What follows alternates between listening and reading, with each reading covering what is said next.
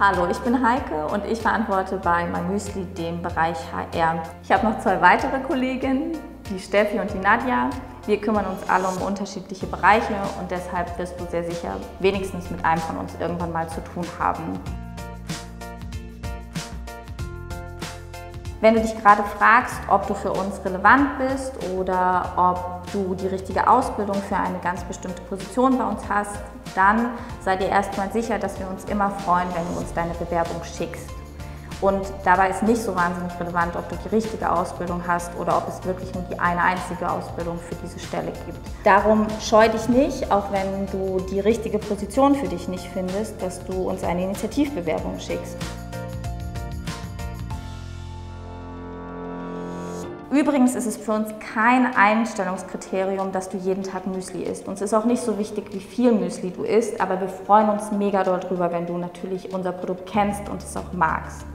Was noch viel wichtiger ist als das, wäre, dass du Lust hast und ehrgeizig bist, uns weiter voranzubringen und dass du gerne Lösungen erarbeitest und mit denen gute Produkte oder perfekte Produkte mit guter Qualität äh, herstellen willst und die auch gerne präsentierst.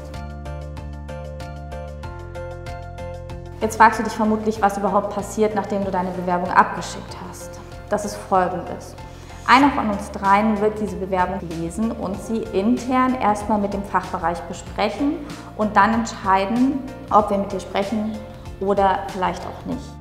Im nächsten Schritt wird es meistens so sein, dass du entweder erstmal telefonierst oder einen digitalen Skype- oder Hangout-Call machst mit dem Fachbereich, in dem du dann auch arbeiten würdest, damit du als allererstes mal die Person kennenlernst, mit der du auch am meisten zu tun hättest.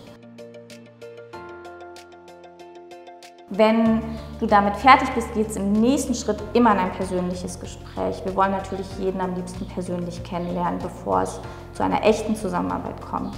Das passiert in einem von unseren Büros bzw. Standorten, wenn du dich für einen Store bewirbst und ist dann manchmal mit HR und manchmal sogar mit einem unserer drei Gründer. Bevor du dich auf den Weg zu einem unserer Standorte machst und uns deine Unterlagen persönlich vorbeibringen möchtest, wir freuen uns natürlich immer über Besuch, aber am allerliebsten haben wir es, wenn du dich einfach digital auf die Stellen bewirbst. Denn wir brauchen deine Unterlagen sowieso immer schon digital und die Wahrscheinlichkeit, dass die Position wirklich noch vakant ist, wenn sie online ist, die ist sehr, sehr hoch. Du findest vermutlich überall so hier um dieses Bild drumherum einen äh, lustigen Button, auf dem steht, dass es zu unseren Stellenanzeigen geht. Da geht es sowohl zu unseren Stellenanzeigen, die dich dann online über die, also über Bewerbungsformulare zu uns führen. Genauso gibt es aber auch einen Initiativbewerbungs- oder einen Initiativjob, auf den du dich bewerben kannst, wenn du eben nicht so ganz genau weißt, was du eigentlich machen möchtest.